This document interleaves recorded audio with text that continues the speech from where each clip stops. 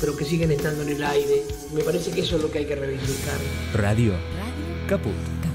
Yo hablo de los verdaderos periodistas. Esas cosas. Los nombres de los países. Radiocaput.com Estás conectado. Estás en Caput. Los nombres de los países.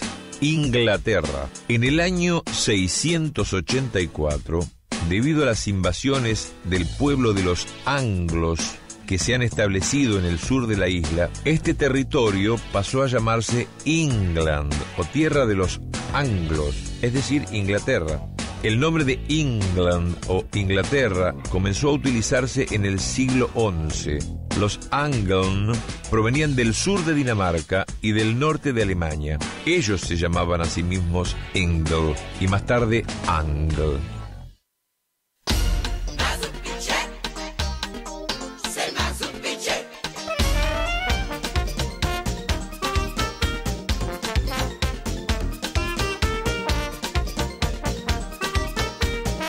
Pero ¿cómo les va?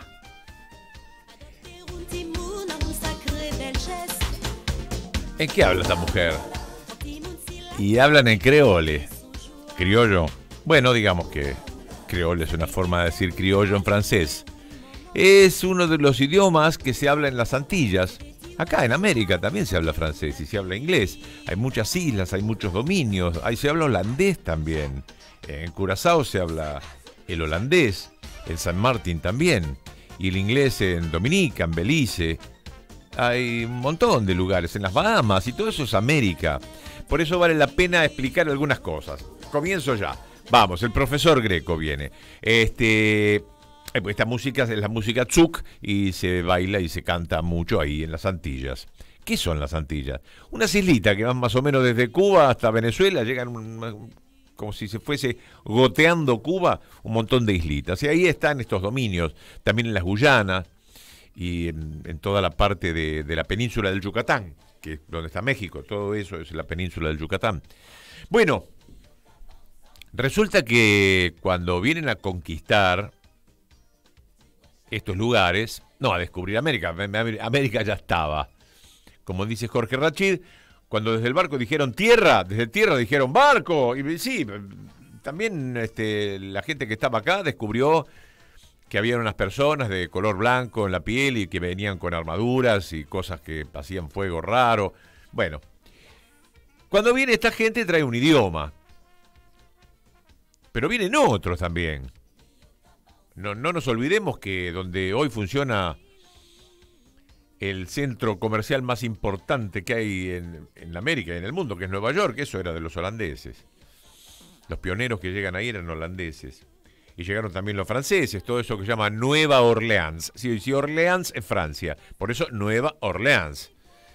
Eh, entonces toda la zona de Luisiana, ¿por qué Luisiana? Por los Luises, por Luis XV, Luis XIV, por toda esa gente. Todo eso era francés. Y por supuesto los españoles mirá los nombres, Los Ángeles, San Francisco, bueno, toda esa zona de la Norteamérica era española como la Centroamérica, por supuesto, y la Sudamérica. Bueno, no toda la Sudamérica, porque también estuvieron los portugueses que llegaron y hoy Brasil habla portugués por esa colonia que han tenido, enorme territorio. Bueno, entonces eh, se puede discriminar la región de varias formas. Una es la general, que es América. América es todo.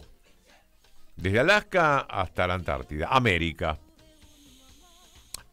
La Antártida es un continente aparte, perdón. Pero bueno, hasta Tierra del Fuego. Desde Alaska hasta Tierra del Fuego, todo eso es América. Por eso hay que tratar de eliminar del vocablo nuestro el americanos solamente para los estadounidenses.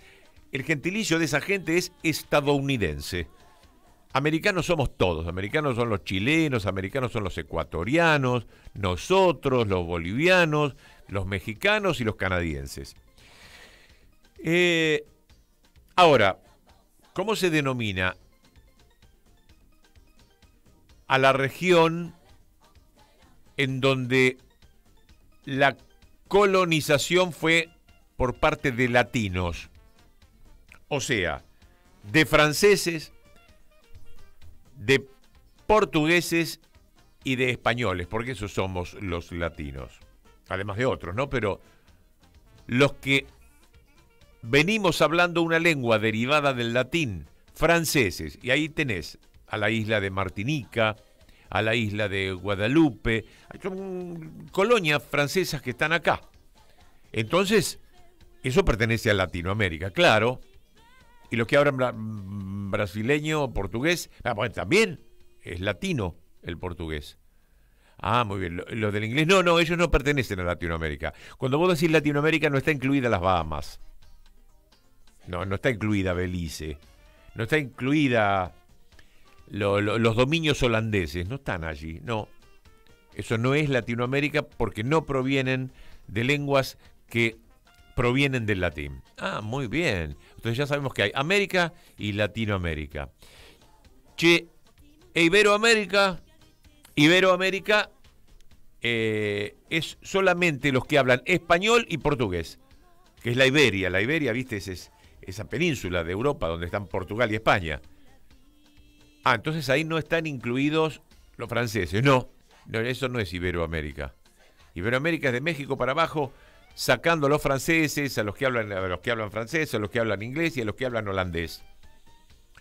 Che, qué interesante. Y los que hablamos español solo, eso es Hispanoamérica. Hispanoamérica. Hasta te podría decir que puedes incluir parte de Los Ángeles, Nuevo México, Texas, eh, Miami, toda la zona de la Florida. Todo lo que se habla español es la Hispanoamérica. Entonces no, no, incluimos Brasil. No, Brasil no es hispanoparlante, no, no es Hispanoamérica. Che, ¿y por qué este, nos dicen hispanos eh, en los Estados Unidos, porque están locos. Están locos, no, no, no proviene de una etnia ni de una raza, sino de un idioma. Pero ¿qué tiene de hispano un boliviano? ¿Qué tiene de hispano un mapuche? ¿Qué tiene de, de hispano un colla? ¿Qué tiene de hispano un negro descendiente de los esclavos que han cazado por el África? no tiene nada de la hispanidad que España trajo al mundo con la espada, la ilustración, entre comillas, y la Biblia. No. Pero bueno, se nos dice hispanos, pero no porque se sepa cómo hablamos, por la cara. Te ven marrón en el subte y sos un hispano. Te ves parecido a un mexicano, así medio indiecito, y eso es un hispano. Están, muy equivocado, es lo menos hispano que puede haber. Es lo menos hispano que puede haber un azteca, un maya, un mapuche, un huichi, un guaraní. ¿Qué tiene que ver con lo hispano? Eh? Los hispanos vinieron a asesinarlos y esclavizarlos. Bueno, aquí una lección de, de, geografía, pero bueno, porque estaba hablando también esta cuestión de los anglos y de Inglaterra, y también se genera un, una una confusión con eso. Y más cuando, más cuando vienen los mundiales, ¿no?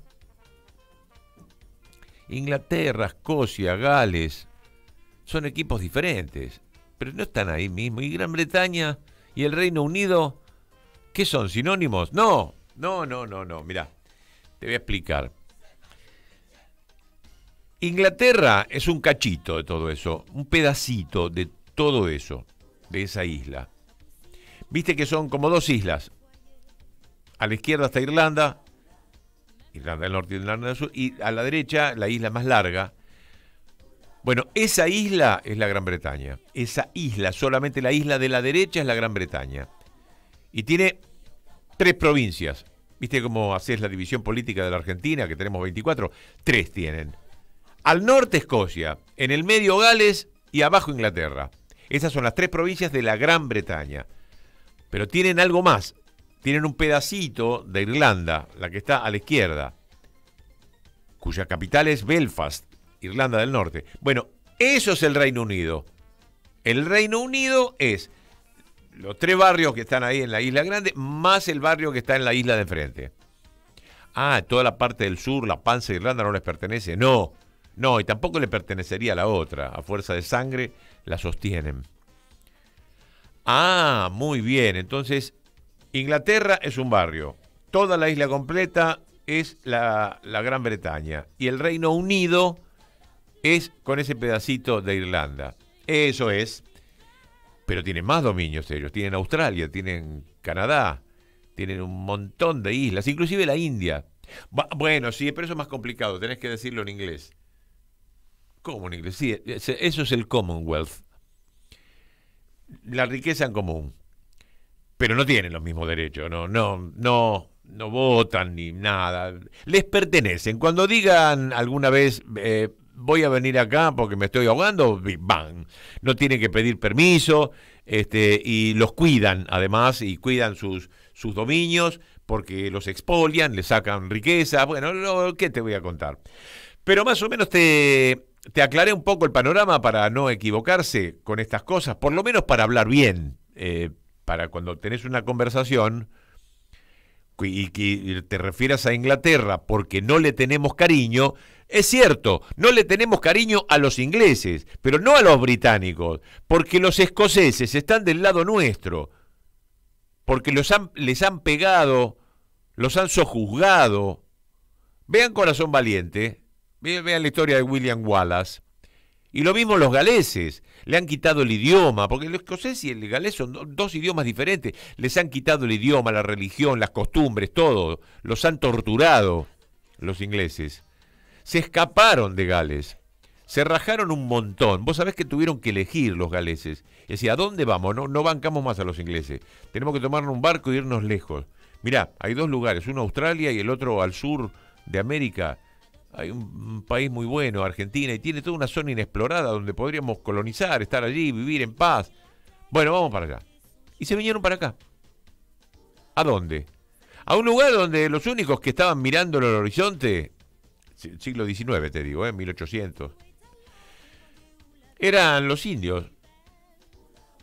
Los pueblos originarios, tehuelches y mapuches, miraban y vinieron unos rubios, unos colorados, y se llevaron muy bien. Muy bien. Los llevaron a un lugar y, bueno, eh, los galeses lo, bautizaron, le, le pusieron un nombre al lugar donde llegaron, que no era puerto, no era nada, llegaron a la costa y no, no, estaba la civilización que se conocía en Europa, no, estaba la otra civilización, la Tehuelche. Y ese lugar a donde llegaron se llama Madryn, es un nombre galés. Pero como no hay agua potable allí, lo llevaron a un lugar más adentro, más al interior. Los indios lo llevaron a, los tipos estos que venían en, un barco y se bajaban en balsas al, río Chubut. Y ahí se establecieron porque tenían agua potable. Y ese lugar se llama Gaiman. Yo tomo acá en un matecito que me traje de Gaiman, que cuando vino la princesa de Gales, conocida como Lady Di, fue a Gaiman a comerse unas tortas galesas. Y bueno, todas esas zonas, hay otra localidad, Treleu. Mira estos nombres. Estos nombres no son aborígenes, ni son españoles, son nombres galeses. Vinieron acá. Y esto te demuestra la convivencia. Le enseñaron muchas cosas a los pueblos originarios y los pueblos originarios le enseñaron muchas cosas a ellos. Ellos le enseñaron a, escribir y, algunos quehaceres que no conocían de la Europa de donde venían.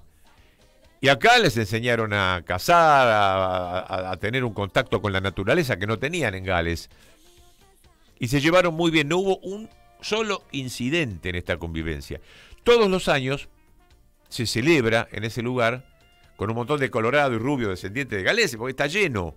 Está lleno, si vos ves este el, emblema de Madrid, es el dragón eh, de, de la bandera de Gales. Bueno, y entonces hace que vienen unos rubios y unos colorados ahí en un bote y unos morochos nuestros acá lo, lo, abrazan y qué sé yo, y hacen la celebración de la convivencia. Si se podía convivir. La matanza que hubo en toda la América realmente porque han querido y porque han querido expoliar y robar. Los otros no, venían corridos por los ingleses. Bueno, hasta acá un poquito de clase de historia y, de hablar con propiedad. Habla bien, che, es un libro que escribí para que te cuente estas cosas, para hablar bien y no pasar vergüenza. Ya está en todas las librerías del país. Lo edita Sicus, una editorial muy amiga de esta casa, y que lo podés comprar a través, a través de la web, a su vez a través de la web, eh, que es www.sicus con doble Ahora, vos no querés que te hable ni de países, ni del origen de las palabras, ni de cómo está subdividido el mundo. Bueno, está bien, vos querés un poquito de actualidad. Bueno, Camilo García me prepara todos los días este informe maravilloso que te actualiza algunas cosas que pasaron ayer. ¿Barato te salió este video grabador? ¿Dónde lo compraste? Mm, pirulo. ¿Cómo? Pirulo. Ah, así que tenés garantía Pirulo, el servicio es de Pirulo, los repuestos dependen de Pirulo. La norma no es la correcta. Mira, los colores desaparecen, cambian, aparecen rayas. ¿Y ahora qué hago? Encontrarlo Pirulo. Por eso, videograbador Grundig. Caro, pero el mejor.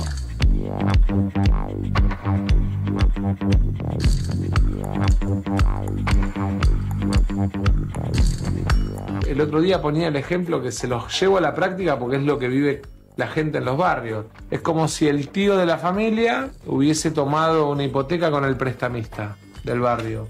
Y entonces el prestamista cada vez que te viene a cobrar viene y te pide algo más. Un día te pide una cosa, otro día te... Eso es el fondo. Y la verdad es que hace cinco años el tío, el tío vago de la familia se fue al prestamista, tomó la hipoteca, digamos, la plata se fue a la Argentina y eso para la Argentina hoy es un problema que genera la faltante de dólares. Ni siquiera sos el dueño, sos vos mismo el dueño de en qué gastás la plata como gobierno, en qué momento podés contra, digamos, achicar o ampliar la cantidad de circulante que tenés, dependés de otro. Pero bueno, es un trabajo, es ponernos, es decir, bueno, che, los próximos cinco años vamos a recorrer este camino de juntar los dólares para ser un país libre y no depender de nadie y sacarnos de encima a los que de alguna manera te condicionan porque son como el prestamista del barrio, entonces todos los días te van poniendo nuevas condiciones, te van exigiendo más cosas, que lo que plantean en el fondo es pérdida de soberanía, es no tener más patrias, no tener más nación.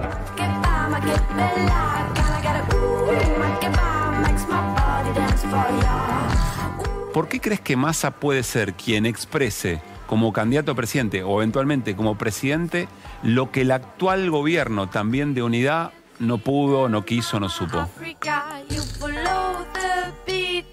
Mira, eh, hay como siempre cuestiones vinculadas a la política, pero también cuestiones de personalidades. Yo cada vez me convenzo más que, además de la construcción colectiva, es muy importante las personalidades de quienes están en lugares tan difíciles, ¿no? como es el presidente de la Nación, ministros ministras. Eh, y me parece que Sergio Massa es una persona, primero, que conoce el Estado en detalle. ¿no? Él fue director de ANSES gran cantidad de años, fue jefe de gabinete. ¿Ahí lo conoces vos en ANSES? Claro, yo lo conocí en ANSES. Cuando yo era, estaba, era un trabajador de ANSES y, y Sergio Massa llega allá por el 2002 o fines del 2001 como, no, 2002, como director de ANSES, era muy, muy joven y una persona con mucha capacidad para integrar equipos, ¿no? hablando ya de la cuestión operativa, no de los Sí. posicionamientos ideológicos, eh, para involucrarse en los temas en mucha profundidad. Creo que esto generó un vínculo entre Néstor, Cristina y él en aquellos tiempos, ya eh, esa pasión por involucrarse al detalle en los temas, que no es algo tal vez tan frecuente. En Cristina es excepcional esa característica, ¿no? Ujú. de involucrarse hasta el mínimo detalle en los temas. Y después es una persona que en la convicción, cuando toma una convicción, que trabaja en el equipo, escucha ideas, pero cuando toma una convicción, bueno, va al frente con esas cuestiones y, y generalmente no cambia en el medio de- del camino. Me parece que hay una característica que yo digo, no, nadie es mejor ni peor, cada uno somos más o menos lo que somos, es muy difícil que, que podamos cambiar mucho a cierta edad, sí incorporar cosas, sí aprender, sí estudiar.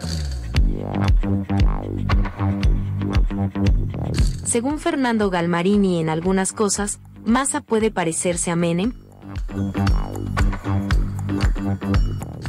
Y en algunas cosas puede parecerse a Carlos Menem en el hecho de hablar con todos, de pareciera que ni uno ni otro han tenido enemigos acérrimos que son capaces de discutir, de charlar, de ponerse de acuerdo y a veces no, con aquel que eh, pareciera que es tu enemigo más feroz.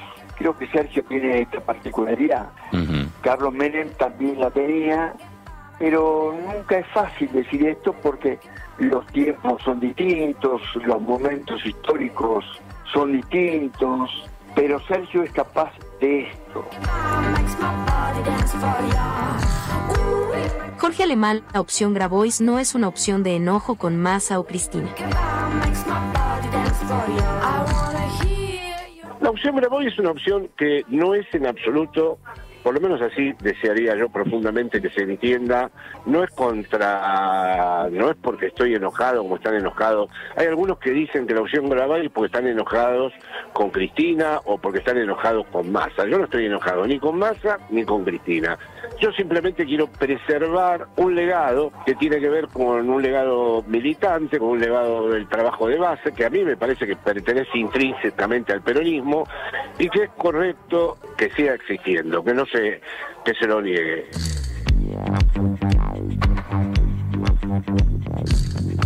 Para Juan Grabois Aguado lo bajo el sistema. Hay un primer elemento, es que Aguado lo bajó el sistema. El sistema percibió en Guado un candidato competitivo, con posibilidades de ganar, que no representa los intereses del 1%. No era una garantía. El sistema, y aquí llamó el sistema para ponerle algunos calificativos más claros, el Fondo Monetario Internacional, lo que llaman los mercados, que en realidad son los accionistas de las grandes corporaciones, porque mercado hay en la esquina de mi casa y eso también es un mercado, y alguna geopolítica, algunos intereses geopolíticos, y obviamente el círculo rojo.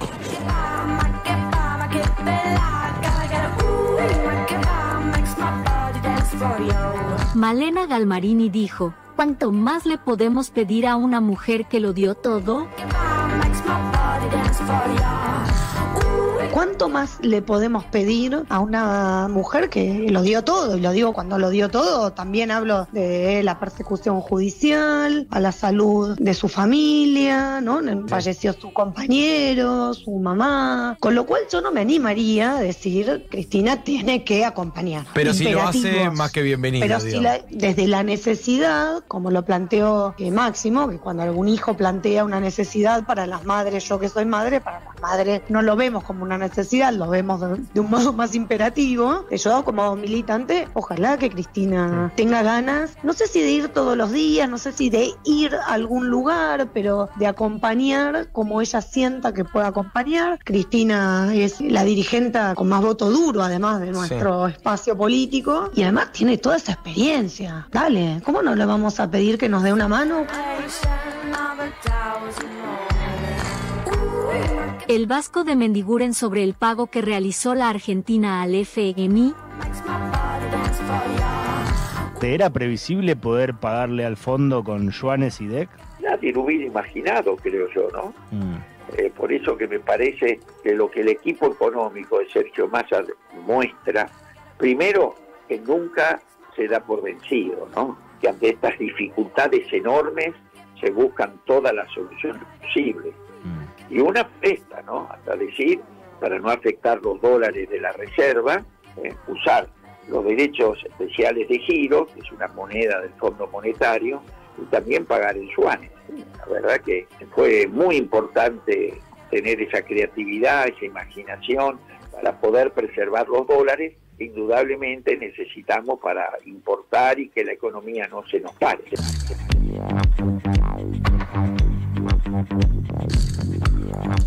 ¿Cambiamos futuro por pasado con el Guasón Larreta? ¿Sabes lo que, me ayuda, lo que me ayuda a mí a vivir en este país? Cuando alguien dice, ¿cuándo seremos como Europa? Es que nosotros fuimos Europa hasta el 40, 45. Porque cuando vos ves lo que fue Argentina, Pero se por puede eso, o sea, recuperar en vez de ser Europa, seamos la Argentina que fue. Bueno. Argentina del 45, de Ahí la está. primera mitad del siglo Esa, pasado. esa, esa. Mi hijo el doctor, Claro. ¿no? El progreso, donde el estudiar, el esforzarse No sé tenía qué nos pasó, pero era eso, era Fabi, eso. pudimos hacerlo. Para la historia de un país, para la vida de una persona es mucho tiempo. Para la historia de un país no es tanto. Podemos recuperarlo. Fuimos una tierra de progreso, atraíamos inmigrantes trabajadores, inversiones en la Argentina.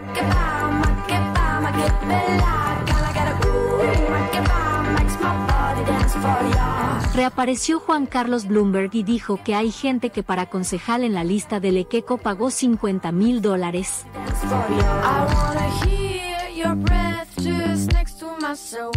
Si, uno quería ser candidato, integrar una lista, tenía que pagar. Sí, sí, hay, hay gente que, que pagó. Sí, sí, sí, sí, sí, sí. Hay, hay gente que, que pagó, que pagó, me dicen. ¿eh? Y hay gente que, la, que las usaron, como este señor que, que llamó, un señor un tal Martino Rorianaguena, que es el presidente del Parque Industrial de Tierra. Claro. El, el, el hombre, digamos, el día anterior, que él juntó fiscales, no sé ¿Y cuánto. cuánto, ¿Y cuánto pedían y quién pedía, Juan Carlos? Pa- aparentemente el que pedía era Kikuchi y el otro pareja y, y, la y la y la y, y- y la y la y la, y la- la- la mana. Así que qué sé yo, yo no puedo. ¿Y cuánto pedían, Juan Carlos? Hay gente que pagaron, no sé, para un concejal 50 mil dólares, otros pagaron no sé qué. Entonces esta, esta gente, lo más grave de esto, estos que han hecho lo que todos creíamos con, con. Que un negocio, un negocio con la política.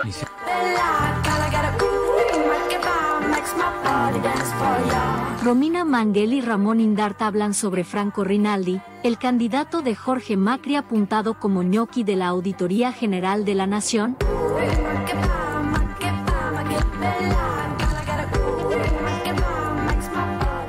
Barro, el barro de la política que obliga a dar explicaciones, esta vez le tocó a Franco Rinaldi, que va como primer candidato, primer candidato a legislador. Claro, uno decía, bueno, outsider por completo. Y no, recién acabo de hablar con él porque teníamos el dato que él trabajaba en la GN, en la Auditoría General de la Nación, que es un lugar donde hay mucha gente que trabaja, pero también hay muchos contratos que andan dando vueltas. Y me acaba de contestar, me dice, sí, la verdad que sí, yo trabajo en la GN, soy planta permanente. Eh, ¿Tenés ahí el contrato de 500, sí? Tenemos el contrato. Para. Él me dijo: Yo trabajo en la GN eh, desde el 2013. Ingreso a la GN el 1 de diciembre del 2013, categoría E1, planta permanente, designado en el gabinete del doctor Nieva hasta la actualidad. Categoría actual 536 mil de dos- pesos brutos. Sí, 536 mil pesos en bruto. Y mm, recién te, completo lo que me decía. Me dice: Soy planta permanente del 2013, hago auditorías sobre temas aeronáuticos que tiene la AGN, Aerolíneas, ANAC y ORSNA. Sí, la, pregunta que me parece que queda abierta también es, digamos, si va o no va, ¿no? Porque, digo, en, en esto que empieza, digamos, y que tiene mucho clima de campaña es, tenés un contrato de Obvio, 500 claro. lucas en la GN, un edificio que además Franco tiene una discapacidad, que Sí. de, de la que él habla y además es, un- es una persona que eh, trabaja mucho por los derechos de las minorías, pero es un edificio que está adaptado. Bueno, lo que dicen es no va. ¿Va o no va? No es tan difícil de comprobar, ¿no? No, no, Milagro Sala denuncia irregularidades en el allanamiento que realizaron en su casa.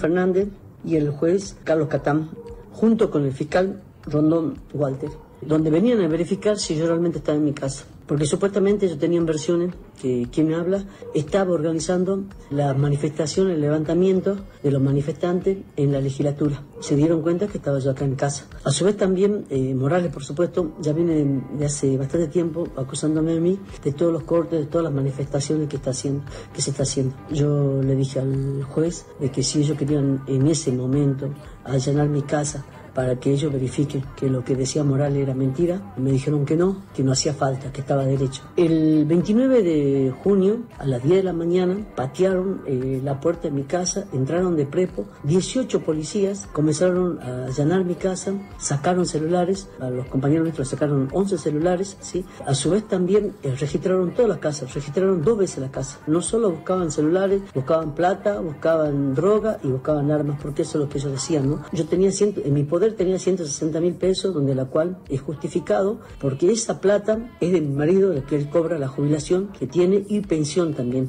Tiene, por, tiene una pensión por- porque fue secuestrado en el 66 en plena época militar. Como no se pudieron llevar nada, nada, ¿sí? Me robaron una carpeta donde quien le habla está escribiendo un libro. Simplemente lo único culpable de lo que hoy está pasando en la provincia se llama Gerardo Morales, porque no eh, hace participar a los bujeños sobre las ganancias de litio, de petróleo, cauchari, eh, de todos los recursos que tiene nuestra provincia para redistribuir para los que menos tienen.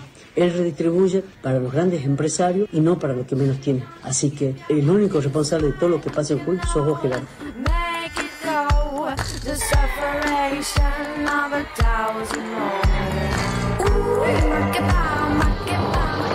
En su video grabador vea Contrabando Suicida.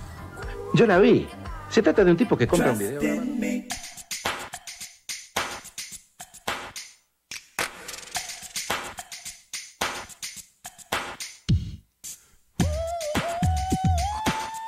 Bueno, muy bien, estamos en Leo Greco con K por Radio Caput. Podés seguirnos a través de la web, nos podés ver que estamos de rojo punzó, te voy a decir. Tengo un, como un piloto, yo creí que iba a llover, de, Argentinos Juniors, eh, que es mi club pero podés vernos entonces a través de radiocaput.com.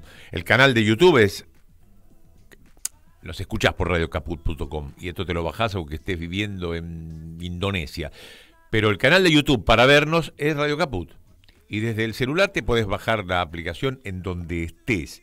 Bueno, esto era Leo Greco con K, pero también eso es como podés encontrarme en Instagram.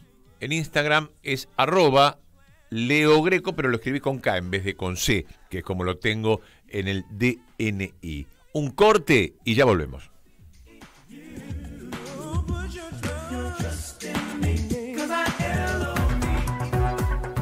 Noticias. La Cámara de Diputados sesionará hoy con un conjunto de temas consensuados.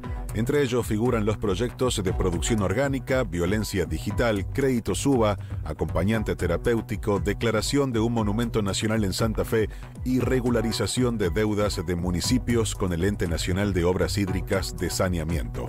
La sesión fue impulsada por el presidente del bloque de diputados del Frente de Todos, Germán Martínez, tras alcanzar un acuerdo con la oposición sobre los temas a incorporar en el plenario, aunque no todas las bancadas facilitarán el quórum. El temario contempla la declaración como monumento histórico del Parque de la Constitución Nacional, ubicado en la ciudad de Santa Fe, donde se rinde homenaje a la Carta Magna Nacional y rescata el trascendente protagonismo de la provincia en la historia constitucional del país. Córdoba. Tras la finalización del escrutinio definitivo, se oficializará hoy el triunfo de Yarlora. El Tribunal Electoral de la provincia dará a conocer hoy el resultado de las elecciones a gobernador y vice que se realizaron el pasado 25 de junio. El escrutinio provisorio de hace 10 días concluyó con el triunfo del intendente capitalino Martín Yarlora y la negativa del candidato de Juntos por el Cambio, Luis Juez, a reconocer esos resultados. Ese conteo dio como ganadora Yarlora de Hacemos Unidos por Córdoba con el 42,76% de los votos, seguido por Juez con el 39,76%, y aunque este dirigente con el correr de los días reconoció el triunfo de su rival, pidió abrir las urnas y contar voto a voto. Racing y San Lorenzo se enfrentan en el cilindro de Avellaneda por la Liga Profesional.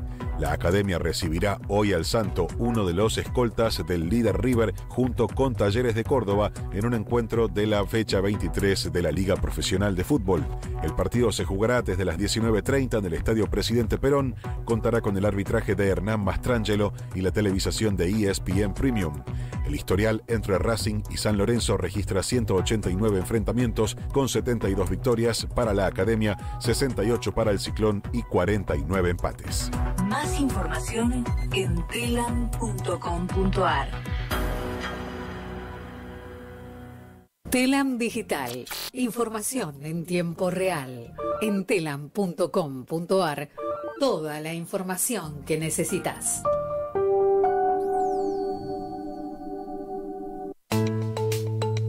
¿Cómo podemos cuidar a nuestras y nuestros jóvenes?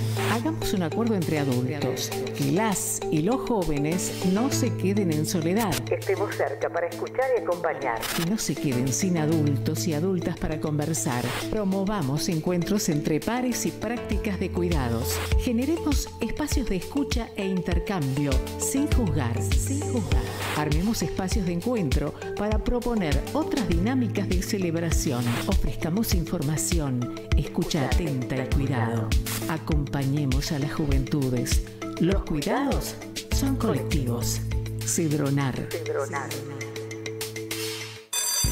La escuela, la pedagogía, los pibes, sus docentes, la crisis, el barrio y la Argentina reunidos en un memorial que no son anécdotas. A eso vine, de Néstor Rebecki. Historias, reflexiones y escritos sobre educación secundaria. A eso vine, de Néstor Rebecki. Disponible en todas las librerías. Ediciones SICUS. La buena lectura ilumina. En Caput pasan cosas. Yo no quiero llamar periodistas a los sirvientes, sirvientes. No quiero llamar periodistas a los que cobran para destruirnos. Que estos que se dicen periodistas y que dicen la verdad pero a medias, hay que ponerles otro nombre. Yo hablo de los verdaderos periodistas. Hay cantidad de radios como esta que se juegan, que les cuesta, que es un esfuerzo enorme, pero que siguen estando en el aire. Me parece que eso es lo que hay que reivindicar. Radio. Caput. Yo hablo de los verdaderos periodistas. Esas cosas.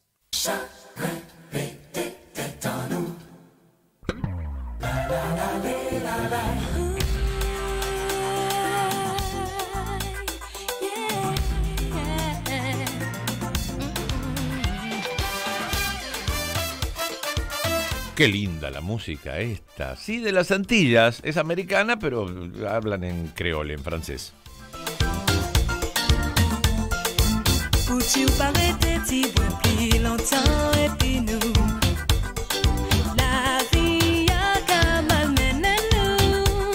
Uruguay está en un serio problema. Tienen agua potable para beber, para hacer mate, para 10 días nada más. Es grave. Y esto es porque aceptaron los condicionamientos del Fondo Monetario Internacional. El gobierno anterior, el de Tabaré, le había dejado una represa para hacer, ya con la guita, con el financiamiento. Pero como quisieron cumplir con la meta fiscal del fondo, porque es la derecha, sí señor fondo, sí señor fondo, no, no la pelearon. Y ahora, por la sequía, no pueden contar con la represa porque no se hizo. Les queda agua para 10 días, es una emergencia hídrica. Es un horror. Es un agua que viene con mucha sal y la gente que es hipertensa se muere si la toma. Eh, ellos toman en esa mezcla que hay de río y mar para Montevideo. El problema no lo tiene el interior, pero lo tiene Montevideo, toda la zona de Canelones. Es un horror. Cosa que no se hizo acá y lo explicó Massa, ¿eh? No se hizo acá. Explicó que las peleas que tuvieron en diciembre para terminar el gasoducto Néstor Kirchner en, el primer semestre, el fondo decía, no, primero la meta fiscal y después en el segundo semestre y si no el año que viene. No, no. No y no y no. Es peronismo, te guste o no, con Alberto y con Massa. Tampoco hay gente que se arremera. Pero hicieron peronismo, se peleó por esto. ¿Vos te parece que Macri lo hubiera hecho, que lo hubiera hecho Bullrich, que lo hubiera hecho Larreta? No, no. Eh, pero veo un meme muy lindo. Susana Jiménez retorna a la Argentina. Extrañaba tomar agua, dijo la diva.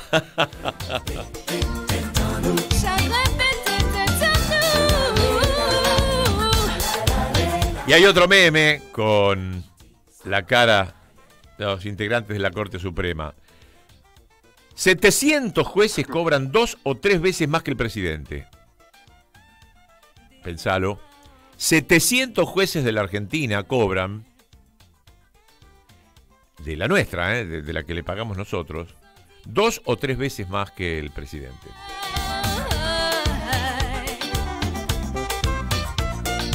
Mientras que hablamos de todas estas cosas, sigue sucediendo el juicio a la Corte Suprema de Justicia. Y lo tenemos de nuevo a Luciano Ortiz Almonacid para contarnos de esto y otras cosas. ¿Cómo le va, doctor? Hola Leo, ¿cómo estás? Qué un placer estar en tu programa, qué bueno oírte y escucharte y Bueno, estar acá. lo mismo decimos nosotros, este, esperamos tu pronta recuperación y qué suerte que hayas vuelto. Así que, bueno, estaba hablando de esto, ¿cómo cobran estos muchachos? ¿Eh? ¿Cuánto? Es interesante eh, el- lo que estamos en casi eh, compatible con la crisis que hoy tiene López Obrador con la Corte Suprema que le revocó un montón de planes que había propuesto, ¿no? Una Corte Suprema parecida a la nuestra, pero mucho mucho menos peor, porque la- lo- los jueces los jueces mexicanos no se quedan toda la vida en la Corte Suprema, pueden quedarse hasta 15 años. Nosotros en la Constitución tenemos hasta 75, pero ya esa cláusula ellos mismos la, la desestimaron, ¿no? Para quedarse toda la vida. Ho- Hoy, lo que tenemos, eh, hoy hay un desaparecido en las campañas. ¿Quién es? Y es un desaparecido el más importante, porque ¿qué- es el desaparecido que, que le hizo perder la- la- las elecciones a un gobernador como Uñac. Estamos hablando de la Corte Suprema, del juicio. ¿Qué candidato y esto lo incluyo a Aguado de Pedro, Grabois, no sé si lo escuché mucho, tiró una propuesta acerca de qué va a hacer de la Corte Suprema. Pregunto, quizás me equivoco, yo no lo escuché ni a más, vos, hasta Moreno, no escuché a nadie decir qué van a hacer con estos jueces. ¿Por qué tienen que explicar todos los candidatos? La reta, obviamente. eh, este, ¿Cómo puede ser que, que hoy haya un tribunal eh, de la ciudad que haya dejado la, esta, esta eh, candidatura del primo de Macri? Bueno, una corte adicta o un, poder judicial adicto y una corte, eh, estamos hablando de la ciudad, pero una corte suprema que últimamente parecía este, un- una unidad básica del PRO, ¿no? Sí. En la forma en que, en que se eh, disponían los fallos, el delivery, los controles, los eh, el, tema de Robles, cómo tenían que sentarse en la Cámara. Le daban, le explicaban a los legisladores cómo debían plantear eh, sentarse, estar, salir, no, votar directamente por control remoto. A ver, en esto, en este juicio de la Corte hoy eh, también yo me quedo con, y, creo que todos nos, nos quedamos con un poquito de sabor amargo. Está bien que hemos demostrado, ¿vos te acordás que en una época eh, a los sindicalistas los perseguían por los manejos de las obras sociales? Sí. ¿Te acordás? Claro que querían, querían meterlos presos. Esto fue durante el gobierno nuestro, tuvimos algunas causitas y Macri iba directo contra todo, ¿no? Con denuncias por mal manejo. Bueno, es la Corte Suprema mucho peor, mucho peor que cualquier obra social de un sindicato. ¿no? Recordemos que la, Corte Suprema tiene 100.000 asociados. Y, vos fijate que t- 100.000 asociados que no tienen ningún tipo de transparencia. Lo que se demostró es un manejo irregular, fraudulento y perjudicial. De falcos. Por ejemplo, se olvidaban de, de- dejaban un plazo fijo muerto y no lo no lo volvían a, a reiterar. Y quedaba el dinero sin intereses que son eh, dineros pa- por temas anticíclicos. Claro. este la, la administrador la administración se comprobó en estos con estos tres testigos y estas seis reuniones este el, el manejo totalmente fraudulento hacia los adherentes. No hay registros contables informáticos no hay auditoría sobre las prestaciones se comprobó la muerte de varios asociados. Estamos hablando fiscales jueces secretarios. Este a lo largo de estos 10 años, eh, los jueces tenían para que Tolón, el director de la obra social que fue llevado por la fuerza pública a la Cámara de Diputados, tenían te- que tener una llegada a Juan Carlos Maqueda para que le autorice las prestaciones. Por ejemplo, eh, eh, yo me tengo que operar de cadera, ¿no? Que estoy con una segunda operación. Para que me aprueben los materiales, yo lo tenía que llamar a Juan Carlos Maqueda. ¿Cómo Si puede no- ser? No me operaban. Imagínate, un integrante de la Corte Suprema que se, me ocup- que se ocupe la operación de un socio. Imagínate, eh, es un camino muy difícil. Bueno, todo esto sucedió. Es una locura. Ahora, es una locura, pero es una locura que ningún candidato hable de en su propuesta de qué va a hacer con la Corte. ¿Qué vamos a tener? ¿Qué van a hacer con estos delincuentes? ¿Por qué no se, por qué no hablan? ¿Qué hay una extorsión? ¿Tienen miedo que les pase lo de Uñac? ¿O se sienten como Ifrán?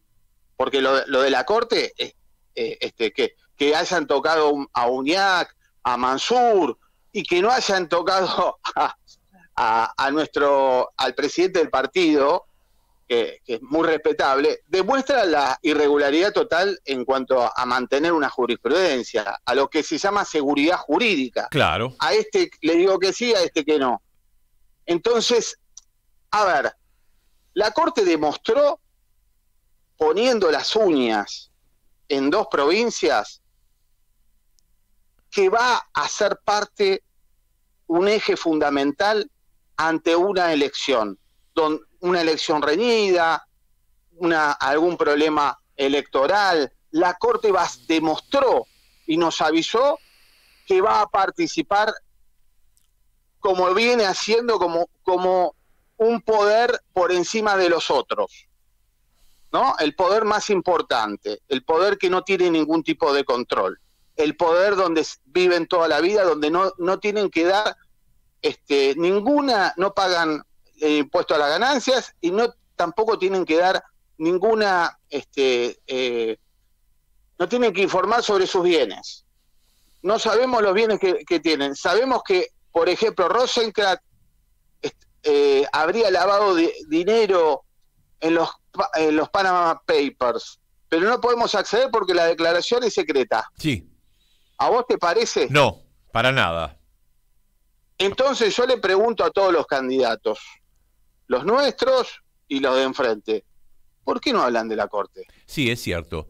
Es un tema que además le preocupa mucho a la gente, aunque parezca mentir y me digan que no. Por supuesto, el sueldo, la inflación, el canal Magdalena, bueno, te- pero esto es uno de los top five. El tema de la justicia, lo mal que funciona, de las quejas más grandes de las personas, de la gente, es la justicia. Mira, Preguntale a Uñac, Sí. pre- preguntale a Uñac si no es importante la Corte. Sí, claro. Para él, quedó, quedó fuera de pista, perdió una elección tonta, por decisiones tontas. Pero- no quiso hacerle el juicio político a la Corte, Uñac. Luciano, Se- se eh, dijo- el tema, el tema este que es institucional es importantísimo, pero lo que vos me estás contando, Es el más importante. bueno, pero lo Es que lo vos me estás importante. contando, la obra social, por ejemplo, y que vos para tu problema de cadera y tu operación tenés que hablar con Maqueda, que está a cargo de la obra social, es un tema de un montón de judiciales como vos, gente que trabaja en la justicia y entonces tiene este problema. Pero después está el otro, de este lado, Lo más. yo tuve un accidente en la autopista y le gané un juicio, ya en segunda instancia,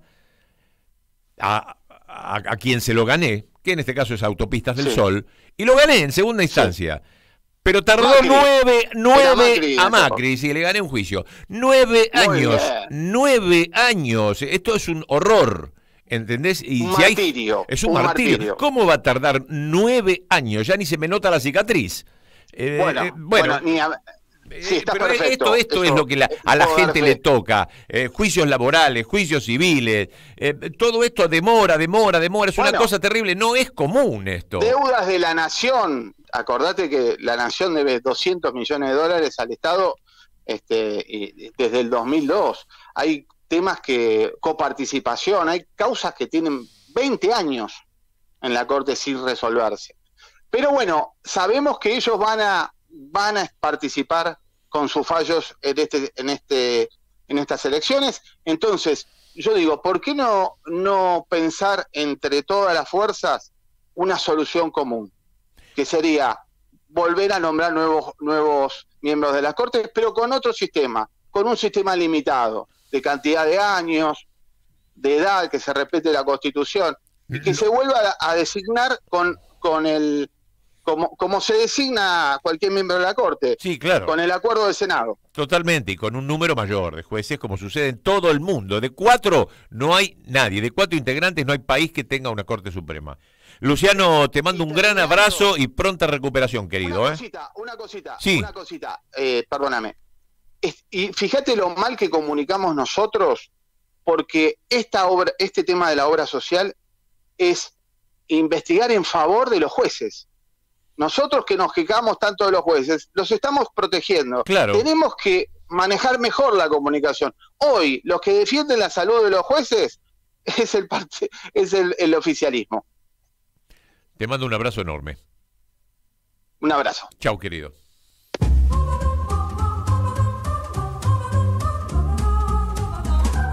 Este grupo neerlandés se llamaban The Swingle Singers y hacían en tiempo de jazz, eran ocho, ocho cantantes, en tiempo de jazz piezas de Bach. Es una cosa impresionante. Esto que estamos escuchando es Johannes Sebastian Bach en tiempo de jazz por ocho cantantes de la hostia, un bajo y una batería.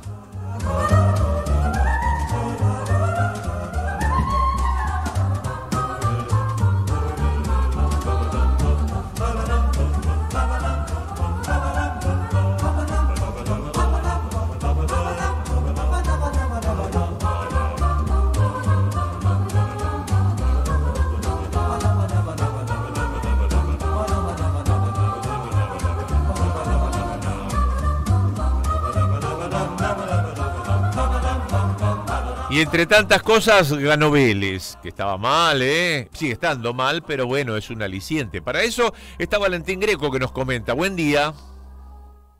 Buen día, Leo. Sí, ganó Vélez, le ganó a Lanús en la Fortaleza, un partido chivo.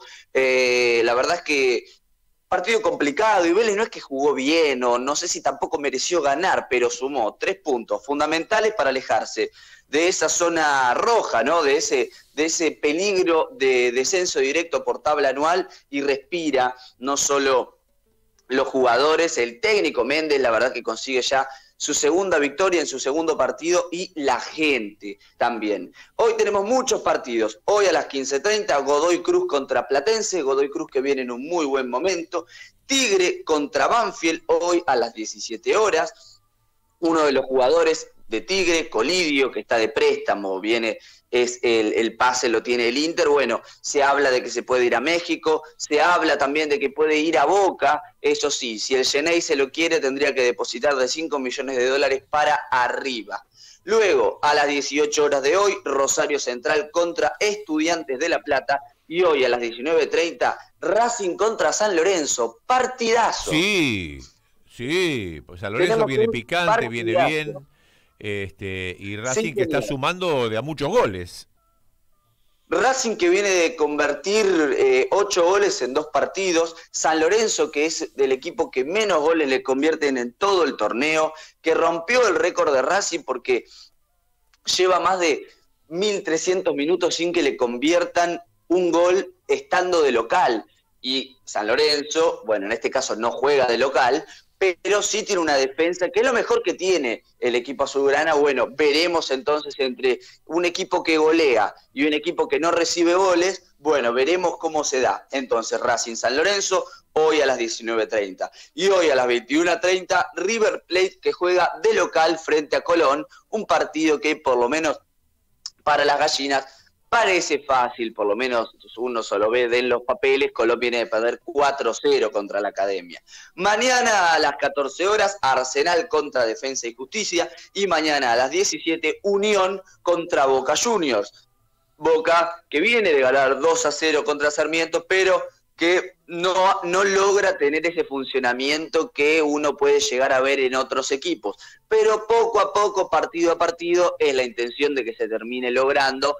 Por supuesto que también está abierto el mercado de pases y se esperan refuerzos para pensar no solo en la Copa de la Liga que se viene, sino también en la Copa Libertadores. Mañana a las 19 horas, Sarmiento contra Talleres. Mañana a las 19 horas, Argentinos Juniors contra Instituto. Mañana a las 21.30, Huracán contra Atlético Tucumán. Partido importantísimo, partido de seis puntos, como se suele decir. Huracán que está en este momento eh, descendiendo porque recordemos que Arsenal está último en la tabla de los promedios, entonces liberaría un cupo, porque también está último en la tabla anual, pero al estar último en las dos tablas, libera un cupo.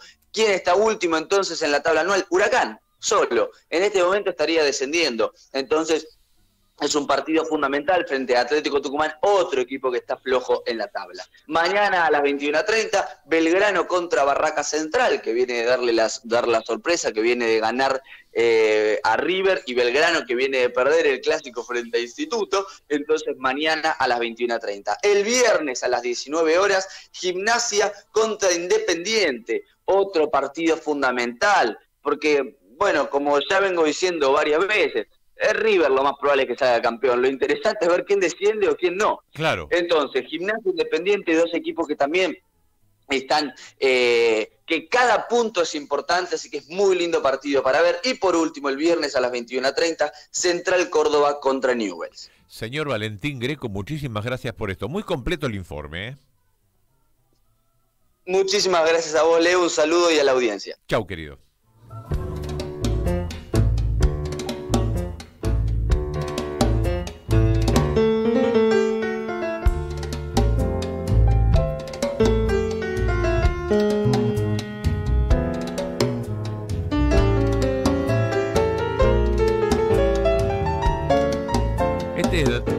Este es Daniel García, Danga, de Tango Loco. Habanos de Buenos Aires creo que se llama este tema. Es muy lindo. Escuchá.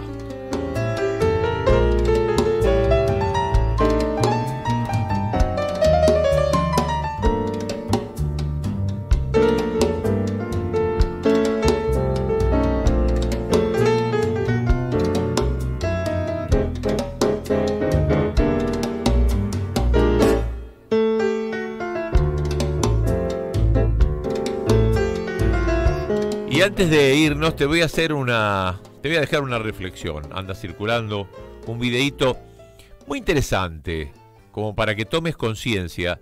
Vos que estás podrido de todos, casi llegando a como se hacía en el 2001. Que se vayan todos, que se vayan todos, que se vayan todos. Entonces, ¿sabes qué te pasa en ese caso? Vienen ellos. Porque va a venir alguien. Si vos no vas a votar. Y esto se llama comer mierda. ¿Cómo? ¿Cómo comer mierda? Mira, eh, te voy a dar un, ejemplo que lo vas a escuchar. Imagínate tres personas que piden algo para comer. Y ahí te vas a dar cuenta que podés ponernos en riesgo de comer mierda.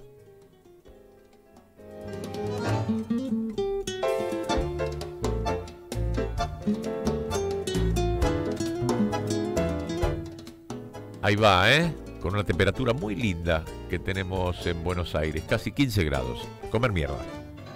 habitación con cuatro personas más y deciden votar para pedir para cenar.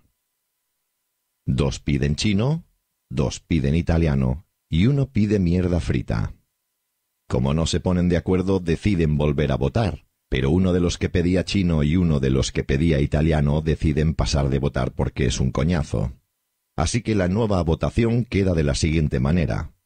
Uno vota por comida china, uno vota por comida italiana, uno vota por mierda frita y hay dos abstenciones. Como no se ponen de acuerdo, deciden volver a votar una vez más, pero esta vez los que piden comida china e italiana se cansan y tampoco van a votar. Y entonces la votación queda de la siguiente manera. Cuatro abstenciones y una mierda frita. Con lo cual acaban comiendo los cinco mierda frita no porque sea lo que quiere la mayoría, sino porque es lo que quiere el único que fue a votar. No es justo, pero es lo que hay, así que si no quieres comer mierda frita durante los próximos cuatro años, igual deberías ir a votar. ¿Se entendió? Bueno, fue muy claro y, con el gracejo español. Y así me retiro. Nos encontramos mañana aquí a las 9 de la mañana en Radio Caput. Si te parece bien. Aquí estaré. Esto es Leo Greco con K. Adiós.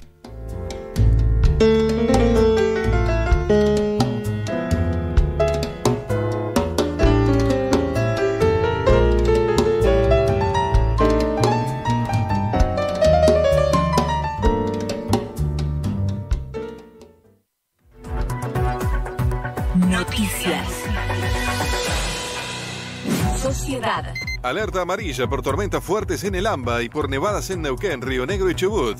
El Servicio Meteorológico Nacional emitió hoy una alerta de nivel amarillo por tormentas fuertes para esta noche en la ciudad de Buenos Aires, el conurbano bonaerense y el norte de la provincia de Buenos Aires. Comprende el área metropolitana de Buenos Aires y el norte bonaerense en localidades como Arrecifes, Capitán Sarmiento, Carmen de Areco, Chacabuco, Lincoln, Pergamino, San Pedro y Varadero. Por otro lado, el organismo meteorológico mantenía esta mañana una alerta por nevadas persistentes y de variada intensidad, algunas localmente fuertes, para el sur de Neuquén, en la zona de los lagos, el oeste de Río Negro, en Bariloche, y en las cordilleras de Pilcanilleu y Ñorquinco, y en toda la cordillera de Chubut. Ciudad de Buenos Aires.